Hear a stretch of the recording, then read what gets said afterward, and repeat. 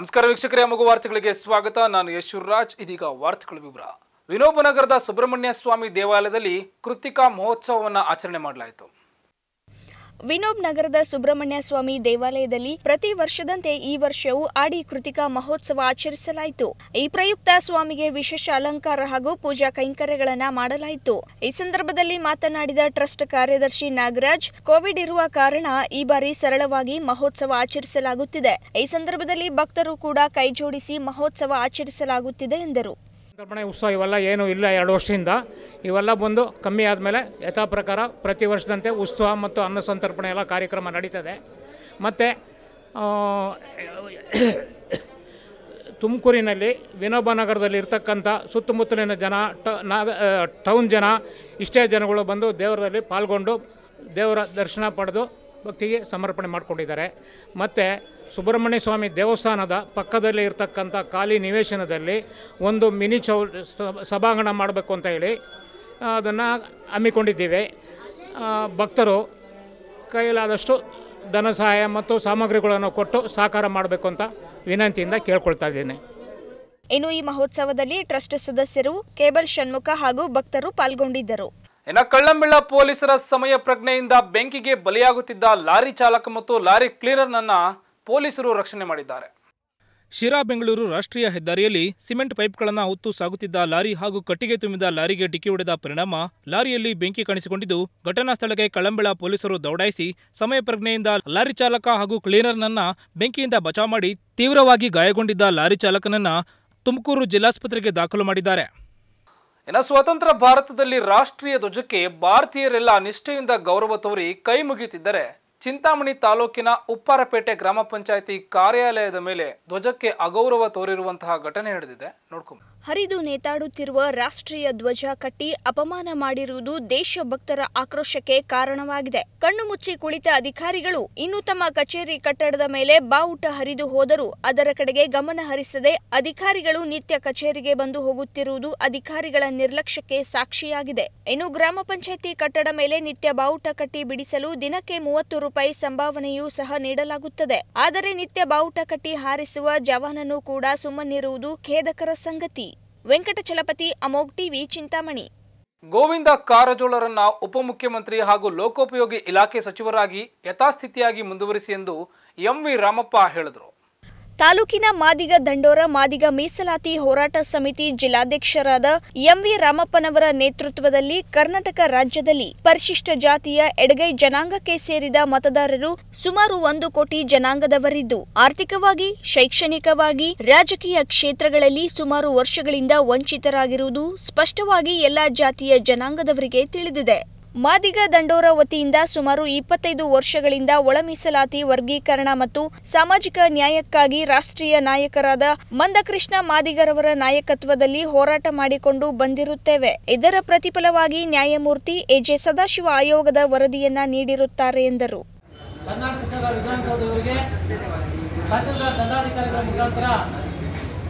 ವಿಷಯ ಗೋವಿಂದ ಕಾರಜೋಳ ಉಪಮುಖ್ಯಮಂತ್ರಿ ಹಾಗೂ ಲೋಕೋಪಯೋಗಿ ಇಲಾಖೆ ಸಚಿವರಾಗಿ ಯಥಾಸ್ಥಿತಿ ಮುಂದುವರಿಸಿಕೊಂಡು ಹೋಗುವ ಬಗ್ಗೆ ಈ ಮೇಲ್ಕಂಡ ವಿಷಯಕ್ಕೆ ಸಂಬಂಧಿಸಿದಂತೆ ಕರ್ನಾಟಕ ರಾಜ್ಯದಲ್ಲಿ ಪರಿಶಿಷ್ಟ ಪಂಗಡ ಎಡಗೈ ಸಮುದಾಯದ ಮತದಾರರು ಸುಮಾರು ಒಂದು ಕೋಟಿ ಜನಾಂಗದಿದ್ದು ಆರ್ಥಿಕವಾಗಿ, ಶೈಕ್ಷಣಿಕವಾಗಿ, ರಾಜಕೀಯವಾಗಿ ಸುಮಾರು ವರ್ಷಗಳಿಂದ ವಂಚಿತರಾಗಿರುವುದು ಸ್ಪಷ್ಟವಾಗಿರುತ್ತದೆ. ಎಲ್ಲ ಜಾತಿ ಜನಾಂಗದವರಿಗೂ ಮಾಲಿಕ ದಂಡದ ವತಿಯಿಂದ ಸುಮಾರು ಇಪ್ಪತ್ತೈದು ವರ್ಷಗಳಿಂದ ಒಳ ಮೀಸಲಾತಿ ವರ್ಗೀಕರಣ ಮತ್ತು ಸಾಮಾಜಿಕ ನ್ಯಾಯಕ್ಕಾಗಿ ರಾಷ್ಟ್ರೀಯ ನಾಯಕರ ಮಂದಕೃಷ್ಣ ಮಾದಿಗರ ನಾಯಕತ್ವದಲ್ಲಿ ಹೋರಾಟ ಮಾಡಿಕೊಂಡು ಬಂದಿರುತ್ತೇವೆ. ಇದರ ಪ್ರತಿಫಲವಾಗಿ ನ್ಯಾಯಮೂರ್ತಿ ಎ ಜೆ ಸದಾಶಿವ ಆಯೋಗ ವರದಿಯನ್ನು ನೀಡಿರುತ್ತಾರೆ. ತಮ್ಮ ಕರ್ನಾಟಕ ರಾಜ್ಯದಲ್ಲಿ ಬಹುಸಂಖ್ಯಾತ ಎಡಗೈ ಜನಾಂಗದವರು ಸನ್ಮಾನ್ಯ ಶ್ರೀ ಗೋವಿಂದ ಕಾರಜೋಳವರಿಗೆ ಮುಖ್ಯಮಂತ್ರಿ ಪದವಿಯು ಸಹ ನೀಡಬೇಕಾಗಿತ್ತು. ಆದರೆ ಈ ರೀತಿ ದಲಿತರಿಗೆ ಮುಖ್ಯಮಂತ್ರಿ ಸ್ಥಾನ ಸಹ ಕೊಡದೆ ಎಲ್ಲ ರಾಜಕೀಯ ಪಕ್ಷಗಳು ಸುಳ್ಳು ಭರವಸೆಗಳನ್ನು ನೀಡಿ ಅನ್ಯಾಯ ಮಾಡುತ್ತಿದ್ದಾರೆ.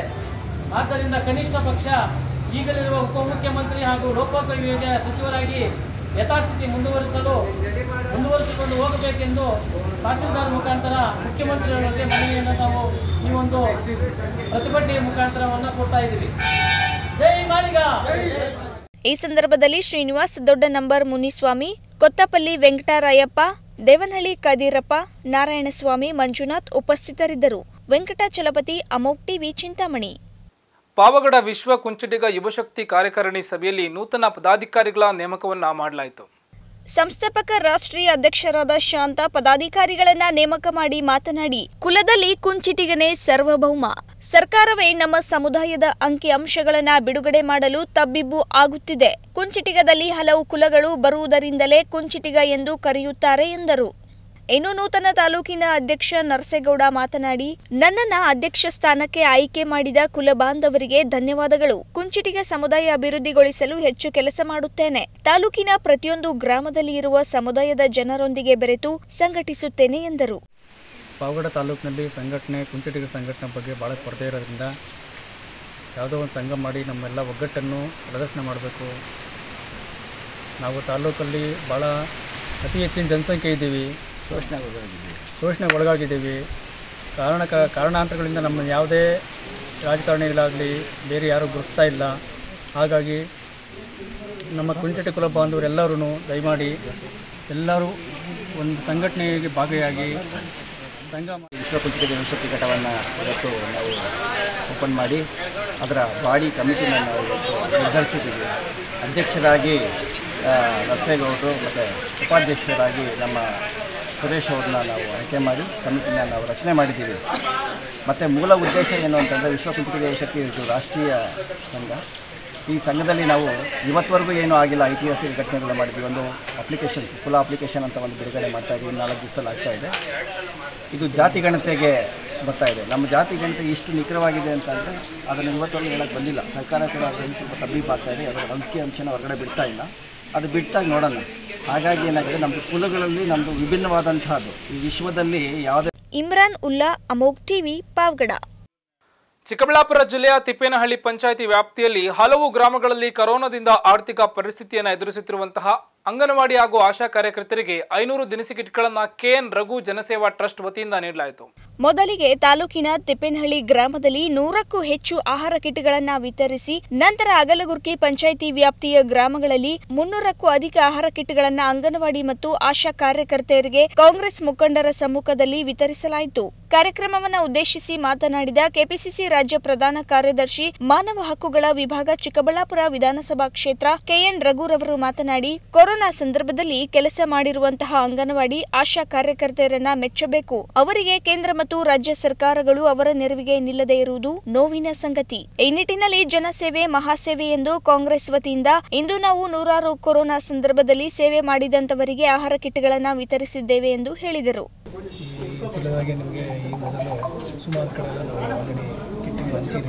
ಇನ್ನು ಮುಂದೇನು ಅನಿಸ್ತೀವಿ ನಾನು ಮೊದಲಿಗೆ ನಿಮ್ಮ ಹತ್ರ ಮೀಡಿಯಾದವ್ರಿಗೆ ಹೇಳಿದ್ದೀನಿ, ಜನಕ್ಕೆ ಹೇಳಿದ್ದೀನಿ ನಮ್ಮದು ಜನಸೇವೆ ಅಂತ ತೀರ್ಮಾನ ತಗೊಂಡಿದ್ದೀವಿ ಸೊ ಜನಗಳಿಗೋಸ್ಕರ ನಾವಿರೋದು. ಜನಸೇವೆ ನಮಗೆ ಸರ್ ಎಷ್ಟು ಕಿಟ್ಗಳು ಹಚ್ಚಿದ್ದೀರಾ? ಈ ಭಾಗದ ಎಕ್ಸ್ಪೆಷಲ್ ಈ ಭಾಗನೇ ಮೊಟ್ಟ ಮೊದಲ ಅಂತ ಇರಲಿಲ್ಲ ಫಸ್ಟ್ ನಾವು ಮುದಿನಳ್ಳಿ ಸ್ಟಾರ್ಟ್ ಮಾಡಿ ನಂದಿ ಈ ಕಡೆ ಚಿಕ್ಕಬಳ್ಳಾಪುರ ಎಲ್ಲ ಬಂದರು ಸೊ ಈ ಭಾಗಕ್ಕೆ ನಮ್ಮ ಜಯರಾಮಣ್ಣವರು ಡಾಕ್ಟರ್ ಕೇಳಿಕೊಟ್ರು. ಆಮೇಲೆ ಈ ಭಾಗಕ್ಕೆ ಕೊಡಬೇಕು. ಆಯಿತು ತಿಪ್ಪೇನಹಳ್ಳಿ ಜಿ ವ್ಯಾಪ್ತಿಗೆ ಬರ್ತಕ್ಕಂಥ ಎಲ್ಲ ಹಳ್ಳಿಗಳಲ್ಲಿ ಕವರ್ ಮಾಡ್ತೀವಿ ಅಂತ ಹೇಳಿ ಸುಮಾರು ಒಂದು ಹತ್ತು ಸಾವಿರ ಕಿಟ್ ಕೊಡೋ ಒಂದು ಯೋಜನೆ ಇದೆ.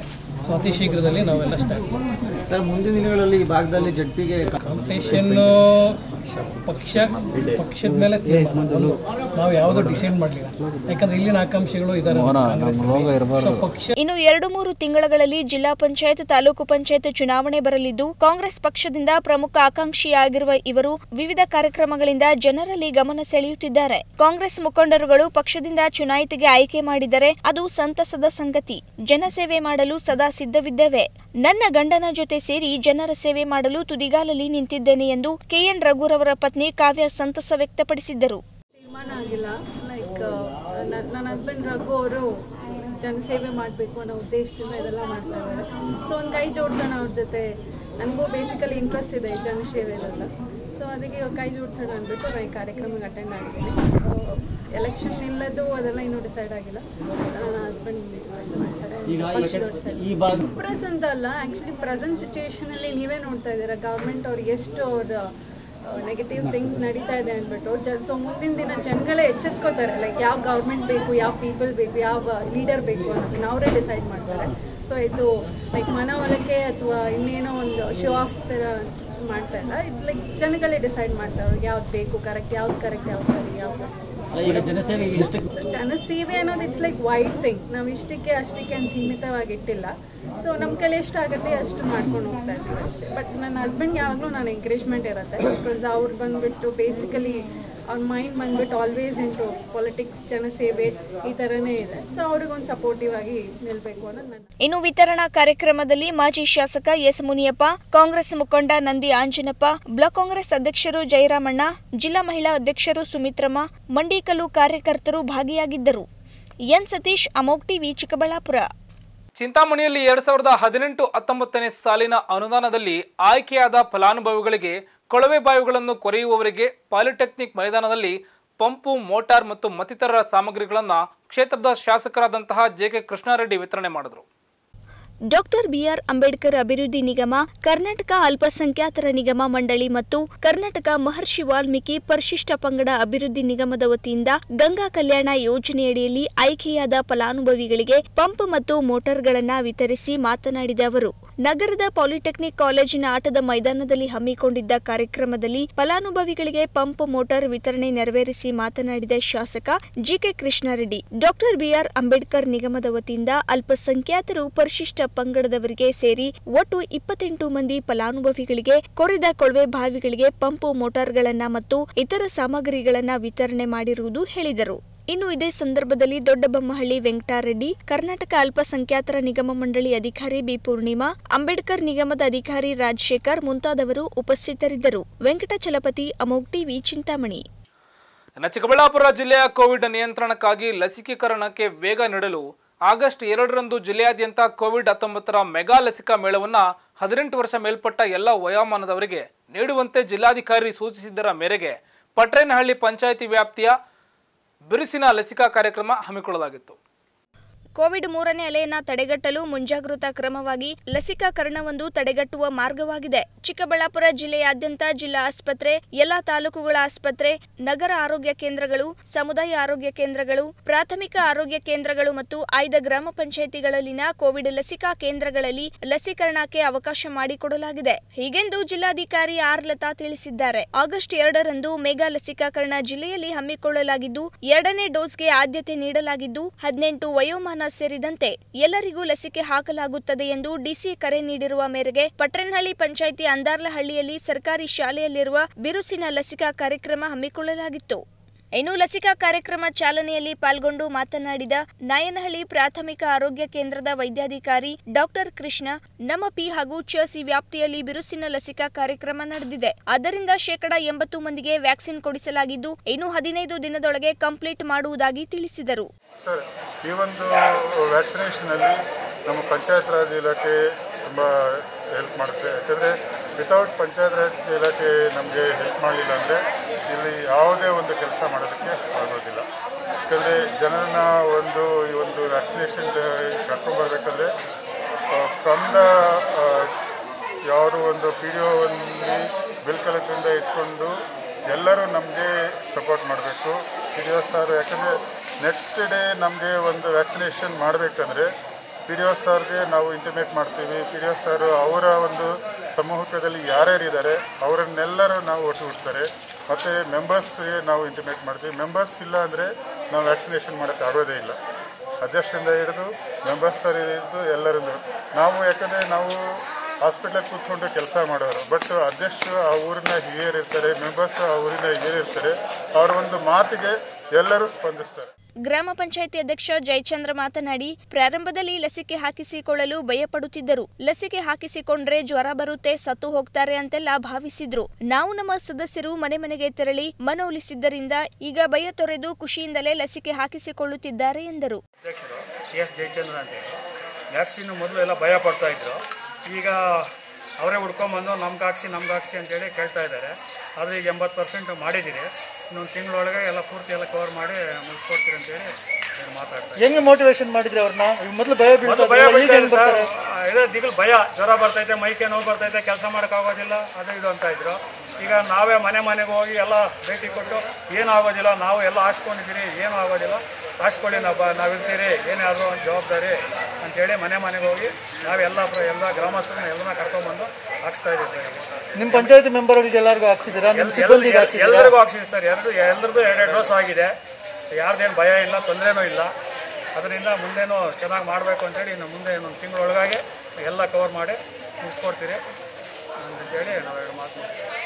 ಈ ವೇಳೆಯಲ್ಲಿ ಪಿಡಿಒ ವಿಜೇಂದ್ರ ಸದಸ್ಯರಾದ ರಾಜಶೇಖರ್ ಶಾಲಾ ಶಿಕ್ಷಕರು ಅಂಗನವಾಡಿ ಆಶಾ ಕಾರ್ಯಕರ್ತೆಯರು ಹಾಜರಿದ್ದರು. N Satish Amogh news Chikkaballapur. ಇನ್ನು ಕಳೆದ ಎರಡು ವರ್ಷಗಳಿಂದ ಕೊರೋನಾ ಹಾವಳಿಯಿಂದಾಗಿ ಎಲ್ಲ ಧಾರ್ಮಿಕ ಆಚಾರ ಸಂಪ್ರದಾಯಗಳು ಜಾತ್ರೆ ಜಂಗುಳಿಗಳಿಗೆ ಬ್ರೇಕ್ ಬಿದ್ದಿತ್ತು. ರಾಜ್ಯ ಅನ್ಲಾಕ್ ಆಗಿ ಎರಡನೇ ಅಲೆ ಮುಗಿದ ಬೆನ್ನಲ್ಲೇ ಜನ ಈಗ ಜಾತ್ರೆ ಧಾರ್ಮಿಕ ಕಾರ್ಯಗಳಿಗೆ ಮುಂದಾಗಿದ್ದಾರೆ. ಇದರ ಒಂದು ವರದಿ ಇದೆ ನೋಡ್ಕೊಂಬನ್ನಿ ಹೌದು, ಕಳೆದ ಎರಡು ವರ್ಷಗಳಿಂದ ದೇವರು ದಿಂಡರಿಲ್ಲ, ಜಾತ್ರೆ ಜಂಗುಳಿಗಳನ್ನ ನೋಡಲಾಗ್ಲಿಲ್ಲ. ಎಲ್ಲದಕ್ಕೂ ಮಹಾಮಾರಿ ಕರೋನಾ ಬ್ರೇಕ್ ಹಾಕಿತ್ತು. ಕರೋನಾ ಎರಡನೇ ಅಲೆ ಮುಗಿದು ರಾಜ್ಯ ಅನ್ಲಾಕ್ ಆದ ಕೂಡಲೇ ಮತ್ತೆ ಜನ ಹಳೆಮುಡಿಗೆ ಬಂದಿದ್ದಾರೆ. ಎಲ್ಲ ಧಾರ್ಮಿಕ ಕಾರ್ಯಗಳಿಗೂ ಮುಂದಾಗಿದ್ದಾರೆ. ದೇವರ ಜಾತ್ರೆಗಳು ಶುರುವಿಟ್ಟುಕೊಂಡಿದ್ದಾರೆ ಎರಡು ವರ್ಷದಿಂದ ನಿಂತು ಹೋಗಿದ್ದ ಆಷಾಢ ಮಾಸದ ನಂದಗಿರಿ ಪ್ರದಕ್ಷಿಣೆಯು ಇವತ್ತು ನಡೆಯಿತು. ಪ್ರದಕ್ಷಿಣೆಗೆ ಜಿಲ್ಲಾಡಳಿತ ಅಧಿಕೃತವಾಗಿ ಅನುಮತಿ ನೀಡದಿದ್ದರೂ ಭಕ್ತರು ಬಾಯಿಂದ ಬಾಯಿಗೆ ಮಾಹಿತಿ ರವಾನೆ ಮಾಡಿಕೊಂಡು ಬೆಳ್ಳಂಬೆಳಗ್ಗೆ ಭೋಗನಂದೀಶ್ವರ ದೇವಾಲಯದಿಂದ ಪ್ರಾರಂಭವಾದ ಪ್ರದಕ್ಷಿಣೆ ಇಡೀ ಬೆಟ್ಟವನ್ನ ಒಂದು ಸುತ್ತು ಹಾಕಿ ದೇವರಿಗೆ ನಮಸ್ಕಾರ ಹಾಕಿ ಹರಕೆ ತೀರಿಸಿಕೊಂಡ ಖುಷಿಯಲ್ಲೇ ಮನೆಗೆ ತೆರಳುತ್ತಿದ್ದರು ನಮ್ಮ ಸ್ಟಾಫ್ ಎಲ್ಲ ಬಂದಿದ್ದೀವಿ ಇದಕ್ಕೆ ಮುಂಚೆ ಇವರೆಲ್ಲ ಬಂದು ಹೋಗಿದ್ದಾರೆ ನಮ್ದು ಇದು ಫಸ್ಟ್ನೇ ಎಕ್ಸ್ಪೀರಿಯೆನ್ಸು ನಾವು ಒಂದು ಹತ್ತು ಕಿಲೋಮೀಟ್ರ್ ಬಂದಿದ್ದೀವಿ. ತುಂಬ ಜೋಶ್ ಇದ್ದಾರೆ ಎಲ್ಲ ಅರವತ್ತು ವರ್ಷ ಐವತ್ತು ವರ್ಷ ಆಗಿದ್ದು ತುಂಬ ಜೋಶಾಗಿ ಬರ್ತಾ ಇದ್ದೀವಿ ನಾವು. ತುಂಬ ತನ್ ಸಂತೋಷ ಇದೆ. ಎಷ್ಟು ಬೇಗ ತಲುಪ್ತೀವಿ ಅನ್ನೋದು ಒಂದು ಖುಷಿ ಎಕ್ಸೈಟ್ಮೆಂಟಲ್ಲಿ ಹೋಗ್ತಾ ಇದ್ದೀವಿ. ಚೆನ್ನಾಗಿದೆ ಎಕ್ಸ್ಪೀರಿಯೆನ್ಸ್ ಇದು ಫಸ್ಟ್ ಟೈಮ್ ಎಲ್ಲಿ ಶುರು ಮಾಡಿದ್ರು? ಎಲ್ಲಿಗೆ ಎಂಡ್ ಮಾಡ್ತೀರಿ ಭೋಗನಂದೀಶ್ವರ ಗೋಗಾನಂದೀಶ್ವರ ಹತ್ರ ಶುರು ಮಾಡಿದ್ದು. ನೆಕ್ಸ್ಟ್ ಅಲ್ಲೋಗಿ ಎಂಡ್ ಮಾಡ್ತೀವಿ. ನೀವು ಹನ್ನೊಂದು ಜನ ಬಂದಿದ್ದೀವಿ. ಜನ ಸಂಖ್ಯೆಯಲ್ಲಿ. ಏನು ಅನುಭವಿಸ್ತಾ ಇದ್ದಾರೆ